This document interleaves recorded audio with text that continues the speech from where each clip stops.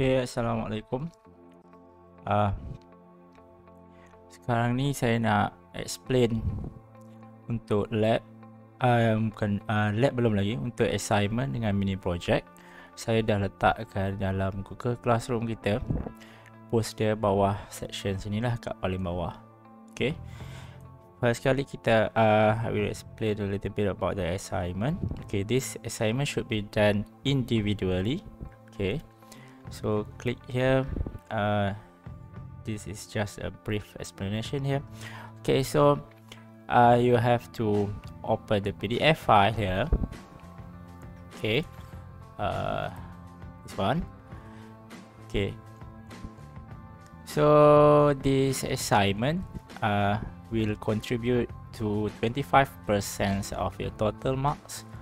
Okay, so there are only three questions that you have to complete. Okay, question 1A Okay, construct a 2, 2D floor plan and sketch the drawing using CAD software. You may choose any building with minimum build up area of 10,000 square feet. Okay, make sure the following information is included the, in the drawings and or your assignment reports that you are going to submit me, uh, to me via the Google Classroom also.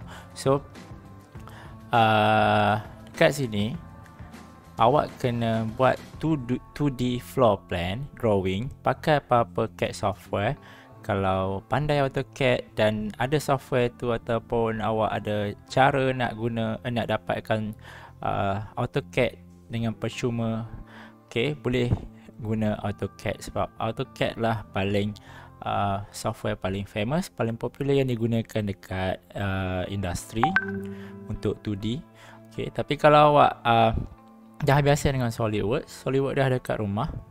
Okay uh, Awak boleh pakai yang 2D Jangan 3D Saya nak 2D saja.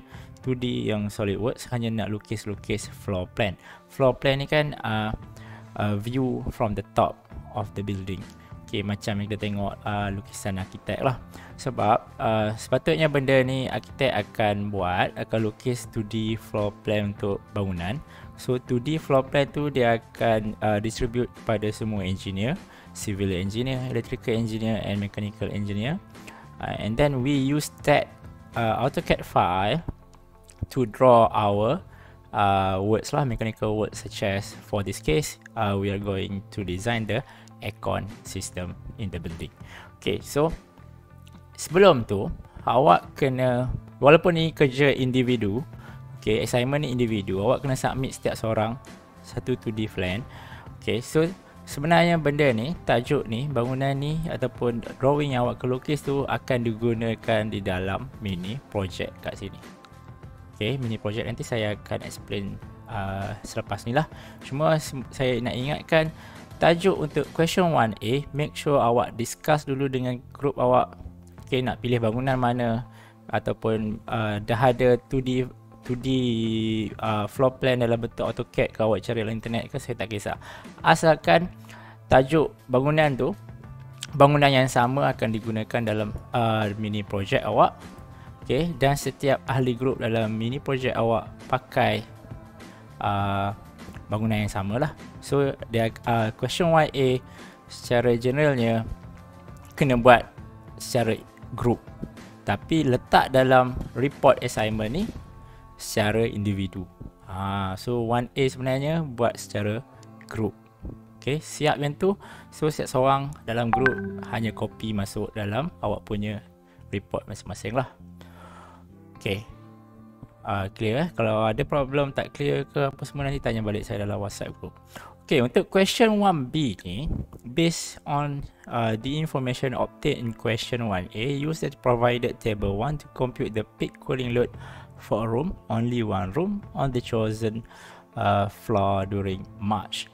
Okay, awak tengok sini awak tak berapa faham kan? Sebab nak kira peak cooling load ni, uh, saya akan ajar dalam chapter 4. Sekarang ni kita bawa habis chapter 3, kita tak masuk lagi chapter 4. So question 1B ni, awak uh, perlu jawab bila kita dah habis chapter 4 nanti. Okay, nanti awak akan tengoklah dalam chapter 4, kita akan pakai table ni. okay, akan pakai table ni untuk kira cooling load. So, apa yang awak perlu buat untuk question 1B? Uh, contoh bangunan tu ada 4 bilik. Awak ada Amak contohlah bangunan tu ada 4 bilik, satu ruang tamu, satu dapur. Contoh. So ada 6 ruang. Jadi, setiap ahli dalam grup awak hanya perlu kira satu ruang yang berbeza. Maksudnya kalau Ahmad ni uh, kira ruang tamu, so Ahmad kena kira ruang tamu dan uh, guna table ni dan ke, dan masukkan dalam assignment Ahmad. Tapi kalau Abdul tak boleh lagi uh, kira uh, yang sama yang Ahmad kira untuk ruang tamu. So Abdul perlu kira ruang lain. Tapi dalam bangunan yang sama sebab dua-dua Abdul dengan Ahmad ni kan dalam grup yang sama. So Abdul kena kira cooling load untuk uh, bilik lah, bilik yang lain yang tak dikira lagi. Okay, so Abdul uh, akan masukkan dia punya kiraan tu bagi assignment Abdul lah sebab ni adalah individu uh, punya kerja assignment. Okay. Boleh ya? Kalau ada masalah macam tadi saya cakap uh, bagi tahu saya dalam group WhatsApp, tanya saya dalam group WhatsApp. Okay, untuk question 1C, yang ni memang individu. Okay. Dia kata kat sini, using the results in question 1B, okay, dah kira dah selesai 1B, identify the measure heat sources to the room. Awak kena uh, buat sendiri, awak kena fikir sendiri setiap individu. Sebab dah lain kan? Ahmad dengan Abdul tadi kat 1B ni dah lain-lain. So Ahmad, contoh Ahmad tadi kira ruang tamu. So Ahmad kena identify the magic, uh, major heat sources that found in the living room, ruang tamu. Contoh major heat sources ni uh, matahari, berapa bilangan, orang, okay, ada ada komputer ke, ada projector ke, ada TV ke, yang apa-apa device yang menghasilkan haba, berapa banyak lampu and so on lah, banyak lah. Okay, jadi major heat sources ni awak akan belajar nanti dalam chapter 4. So, maksud yang sekarang, selagi awak tak selesai question 1B, awak uh, jangan jawab dulu question 1C. Tapi kalau dah selesai question 1B, awak kena jawab question 1C. Okay, question 1C ni yang tadi baca instruction dia kena identify major heat sources dan awak kena fikir solution nak kurangkan uh, heat loss uh, heat sources tu ataupun uh, pendek kata kita nak increase efficiency of air conditioning system. Okay, untuk ruang tu. Untuk fokus dekat ruang tu. Okay. Dan awak boleh carilah apa-apa maklumat dalam internet ke. Okay. Dan ke, ni adalah bentuk essay dalam bentuk essay format. Tapi bila awak dah cari maklumat di tempat lain dalam buku ke internet ke surat khabar ke so awak kena list down the references. References tu guna APA format. Tak pernah tahu apa EPA format? Ok kena google apa dia EPA format for the references. Ok tu sahaja untuk question uh, untuk assignment. Selesai. Selesai eh Okay, kita pergi balik ke question uh, ke mana ke mini project. Okay, sebelum tu saya nak bagi tahu assignment ni 25%. Uh, group uh, mini project 35%. Okay, untuk mini project saya pun dah letak dekat sini. Uh, ini mini project. Mini project ni by group. Okay, sebelum ni dah bagi nama kan. Nama tu tak boleh tukar lah. Uh, yang mana dah letak kat sini. Okay, ni bilangan yang saya tahu. Kalau ada masih yang tertinggal nama okay, Cepat-cepat cari kawan. Sampai hari tu rasanya dah semua dah ada. Okay So awak kena fix dalam group ni Untuk uh, mini project Dan juga lab, lab awak nanti. Okay untuk mini project Kita sambung balik kepada instruction dia. Uh, Ni Design specification dah cakap kat sini. You have to acquire the building Floor plan for the building that you have done in assignment So senang lah sebab assignment tu awak dah buat floor plan untuk bangunan tu dalam group kan. Okay, so guna yang tu awak nak design benda-benda ni. Okay, boleh? Nak design benda-benda ni. So awak uh, akan go through step by step lah. Nanti kita akan uh, pakai dalam uh, design aircon ni guna dekat uh, guna knowledge dekat chapter 4 dengan chapter 5 so selagi uh, awak tak habis belajar chapter 5 awak uh, susahlah untuk nak siapkan uh, mini project ni. Tapi se- sebab saya tahu proses dia panjang sebab itulah saya nak awak start dulu sekarang ni buat uh, floor plan. Ni sebab floor plan tu uh, boleh buat sekarang tanpa chapter 4 dan chapter 5 okay building floor plan ni make sure dah siapkan dulu. Okay, kalau boleh nanti dalam tempoh 2 minggu akan datang saya akan uh, check seorang-seorang. Setiap group kena hantar dia punya floor plan dalam bentuk CAD lah. Okay. Daripada situ nanti senang lah. Bila kita dah ada CAD kita akan design uh, ikon-ikon kita. Uh, bila kita dah tahu cara nak kira dekat chapter 4 dengan chapter 5 nanti. Okay, so uh, mini project ni ada dua assessment. Satu kena buat report, 25% report tu. Okay, satu lagi kena presentation. Presentation tu 10%. Okay, presentation tu uh, nanti kita kalau ada sempat masa kita pakai Google Meet so setiap group kena present kalau tak sempat masa nanti awak kena record presentation dan post dalam YouTube okay so submission date for the mini project is uh, during the final week lah minggu akhir. Okay.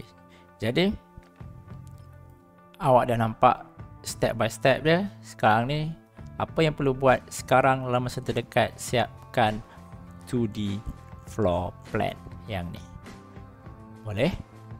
Ah uh, okay, saya rasa itu saja instruction untuk assignment and mini project so if you have any problems or questions just let me know.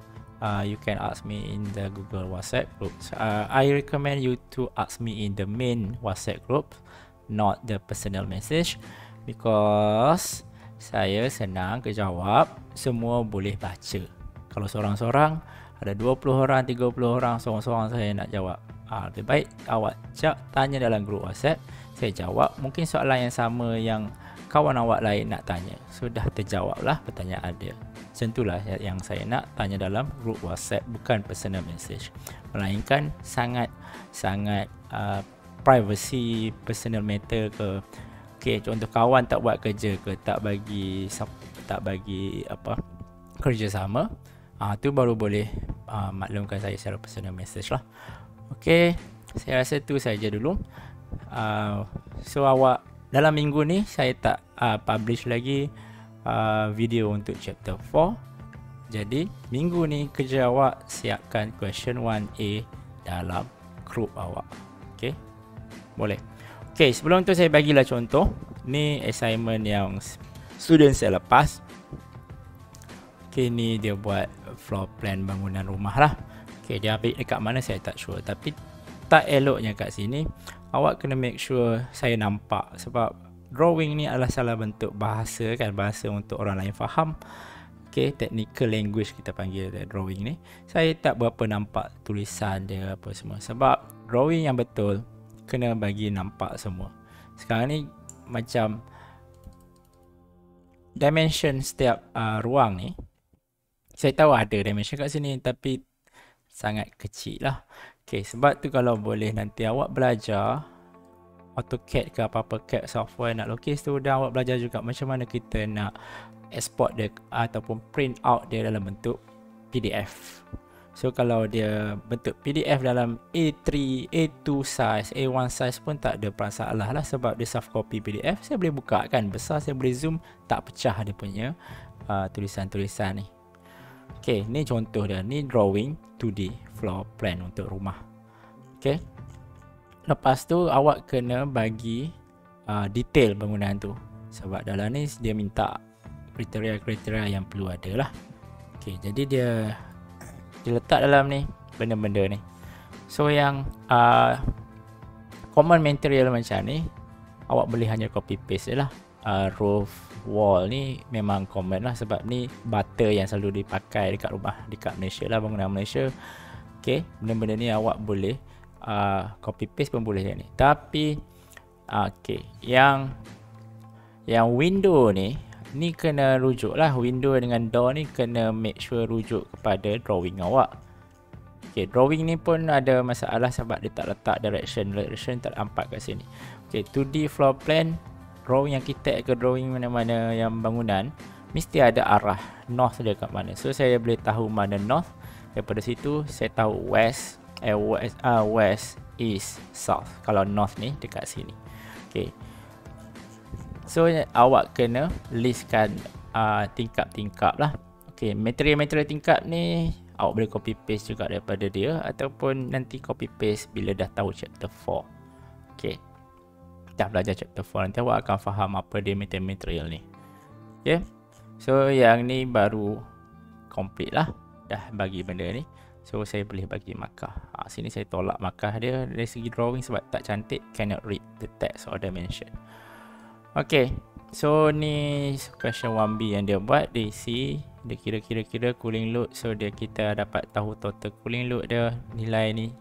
Okey lepas tu ni question 1C uh, dia buat essay uh, dasarkan yang tu lah. Okay, references dia tak berapa cantik nanti make sure awak ikut APA style. Ok so ni contoh. Sekarang dah boleh start make sure minggu depan. Saya bagi tempoh seminggu lah kan sebab minggu ni tak ada lecture. Saya tak bagi video lecture. So minggu depan saya nak tengok uh, ada progress untuk lukis benda ni 2D floor plan. Cubalah guna software apa-apa software CAD ok. Kalau saya saya suka AutoCAD lah. AutoCAD paling universal yang diguna pakai dekat luar nanti. Kalau awak dah pandai pakai AutoCAD tu senang nanti bila nak kerja dalam bidang construction. Sebab kita dekat mechanical engineering dekat UiTM dia tak ajar AutoCAD kan. Kita lebih pada SolidWorks 3D tapi bila masuk construction dia orang lebih kepada 2D AutoCAD.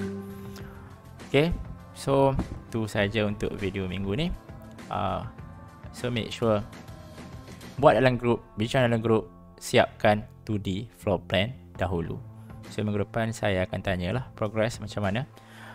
Okay, boleh start mulalah. Okay, Assalamualaikum. Itu saja.